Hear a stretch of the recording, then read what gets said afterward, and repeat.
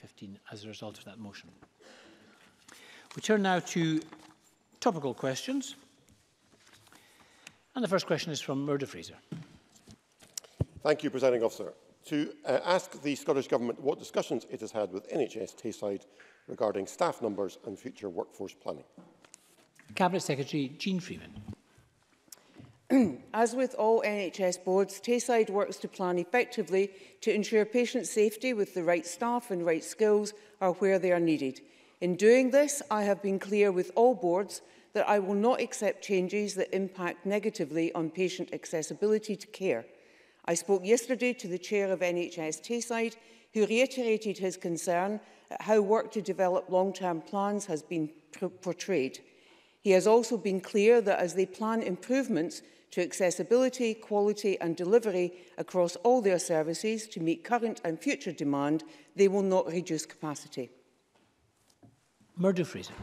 Can, can I thank the Cabinet Secretary for her response? I'm sure she will appreciate the public concern there has been around reports that NHS Tayside are looking to shed 1,300 jobs or 10% of the workforce. We've already seen temporary closures in the minor injuries units in Pitlochry and Creef due to uh, shortages of nurses. The RCN have been in contact with my office this morning, expressing concern at a reduction in the headcount of nursing and midwifery staff in NHS Tayside over the last four years. I hear what she has to say about protecting frontline services, but surely with that level of a reduction in staff, it's not inevitable there will be some impact on already stretched uh, front-facing services. Cabinet Secretary.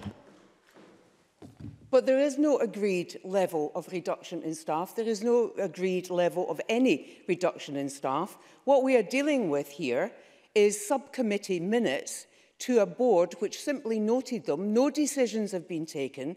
What is happening is the NHS Tayside doing precisely what we want them to do, as with other boards, is plan their use of resource, plan their service delivery with their health and social care partners, with their unions and their clinicians, exactly the right approach, exactly indeed uh, the contrary to what uh, uh, Mr Fraser's colleagues have accused us of not doing, where they've accused us of not planning for the future. That is what Tayside is doing.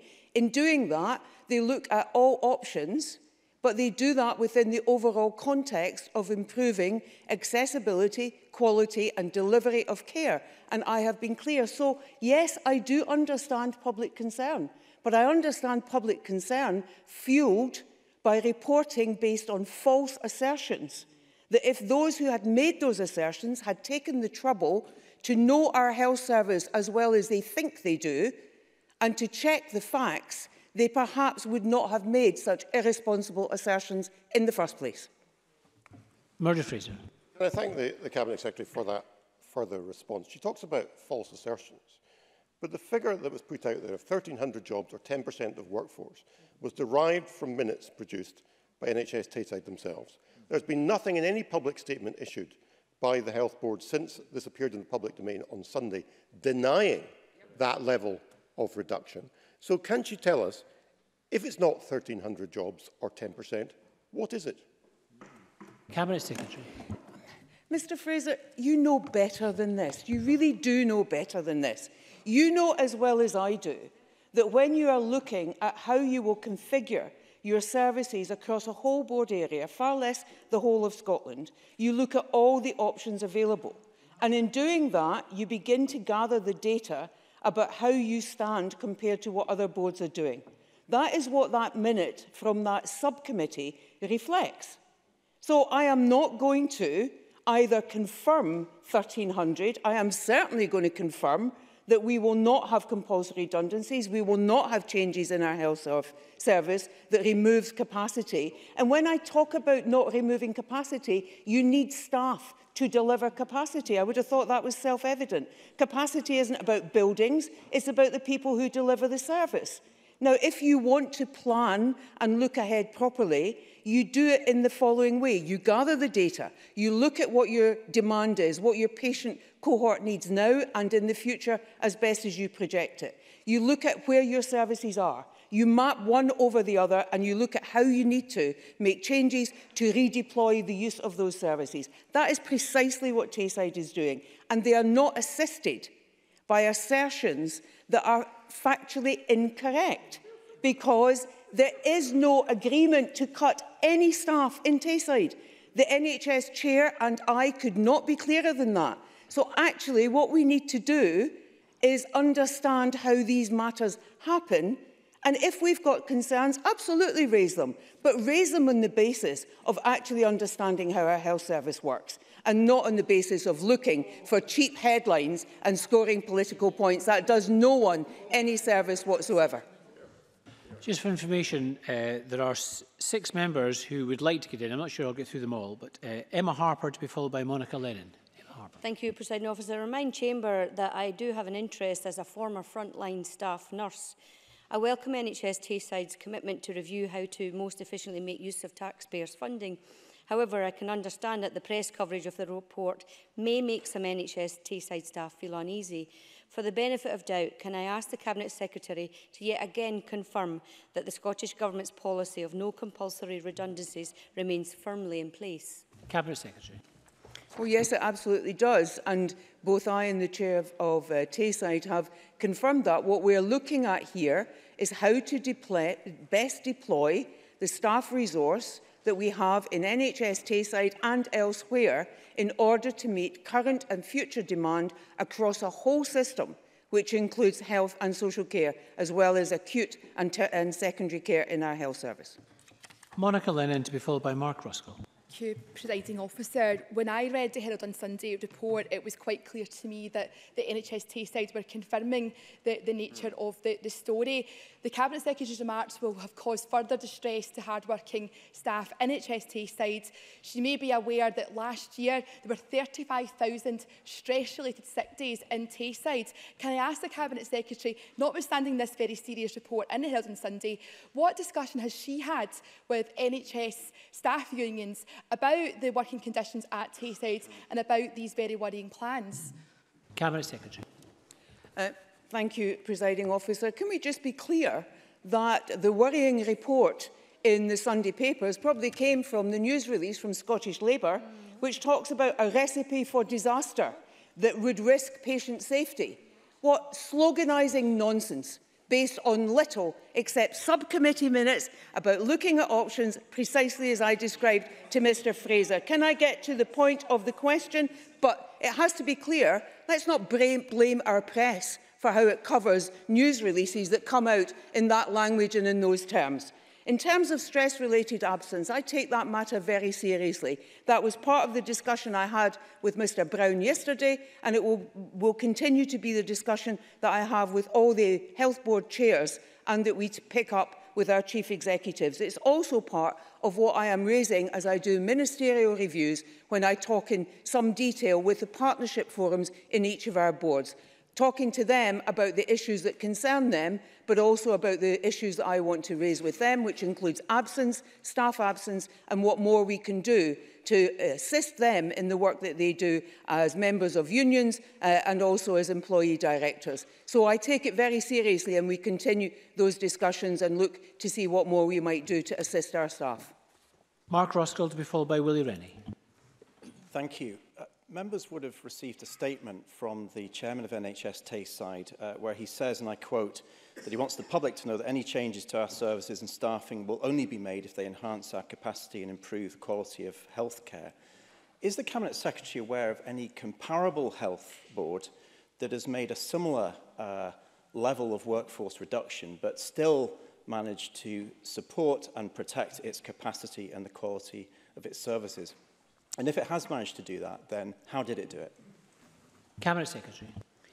Um, um, thank you, Mr Ruskell, for that question. Let me say again, NHS Tayside have not made any level of staff reduction. What they have done, and I am also now quoting from Mr Brown's statement, At this early stage of the programme, the programme is called Transforming Tayside, it is important that, as well as looking at how and where health and care services are delivered, we start to consider where staff are best placed to respond to the needs of all our patients and service users. That is precisely what he is doing, and we will support him and his board and other boards in doing that because we need them to look at not only what are they delivering now, but how sustainable and appropriate are those services across the whole system for the future? Willie Rennie. The Cabinet, um, the Cabinet Secretary describes this committee as a subcommittee, but I've no doubt this subcommittee has got some very important and informed people on it.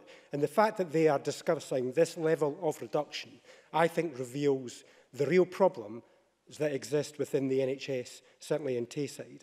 So what I'd like to understand is, although she says no decisions have been made, what is the process? When will conclusions be reached?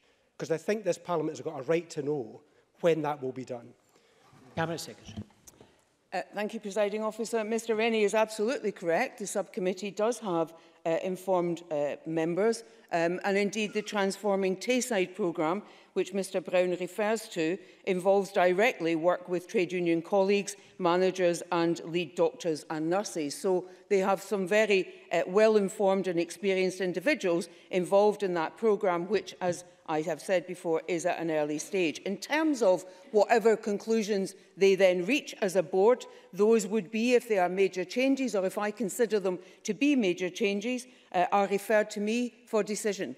Uh, at this point, it is not uh, clear yet from the board exactly how long they think they will want to take before they reach final conclusions because they began the work before I published the medium-term financial framework uh, giving boards uh, not only relief from paying back brokerage, but a three-year financial planning cycle and a waiting times improvement plan, which produces, as members will recall, uh, significant additional investment. And so the board will now need to recast some of their work in light of those significant enhancements to the context in which they're working and consider how they go forward from there. I'm sure they will provide me with a timetable of what they uh, expect to be doing over the coming uh, months evidence, and I'd be happy to share that with Mr Rennie and other members. Thank you. Apologies to Fulton McGregor and Jenny Mara as we don't have enough time for any further supplementaries. Question number two, Daniel Johnson. To ask the Scottish Government what action it is taking to protect emergency workers during the fireworks season in light of the reported increase in levels of violence and intimidation that they face at this time of year. Minister Ashton. The Scottish Government will not tolerate any attacks on our emergency services and a number of legal protections are in place, including the Emergency Workers Scotland Act of 2005. Powers available through antisocial behaviour legislation have been effectively used as part of the multi-agency approach to planning and also to prevention. But I am aware of some reports of antisocial behaviour and attacks on emergency services this year and recognise the impact this has not only on emergency service personnel, but also on the communities that are affected. But we are awaiting a full response from Police Scotland at this time. But I'm sure the Chamber will join me in extending my formal thanks and recognition to our emergency services following their busiest night of the year. Daniel Johnson. Um, I thank the, the Minister for that response and I too would thank the emergency services for the work that they do firefighters, rather than running from danger, run to it. So the very fact that people would use the event of firework night to draw in fire, uh, firefighters and uh, other members will be concerned, as I was, to read reports over the weekend of watch managers describing war zone type situations with projectiles and fireworks being thrown at firefighters. Uh, other members will have found that deeply disturbing. And therefore, I'm alarmed that there is a need for a campaign at all. Um, so I'd wonder if the uh, Minister would join me in welcoming the Fire Services Don't Attack Me campaign. And I would also ask what steps the Scottish Government is taking to follow that campaign up. And I was also hoping that the Minister might be able to share initial reports from last night and what level of uh, violence and intimidation fire, the fire service faced uh, uh, with last night's festiv uh, festivities. Minister. I am aware of the Don't uh, Attack Me campaign, obviously, and um, you know, very good work has been done uh, as a result of that. Um, unfortunately, at the moment, the, we don't have the full data from last night. It's too early. The agencies are still um, putting together the numbers. Um, the actual number of incidents last night is still yet to be confirmed. At this stage, there's no suggestion of a significant increase. So I hope that will reassure the member on that point. Um, antisocial behaviour, unfortunately, does occur year-round, and there are a range of powers and measures available to the police and local agencies to direct and disperse. Um, there has been a lot of multi-agency working um, uh, going on this year in both planning and prevention. I've been to see um, the work that's been undertaken in Edinburgh